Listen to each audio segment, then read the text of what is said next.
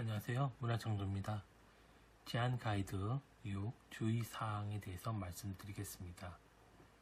제한 시 주의사항을 일목요연하게 적습니다. 제안서의 내용을 확인하기 위해 직접 업체 현장 답사를 할 수 있다거나 뭐 제한된 내용이 너무 다를 때 제한을 무효할 수 있다는 내용도 넣습니다.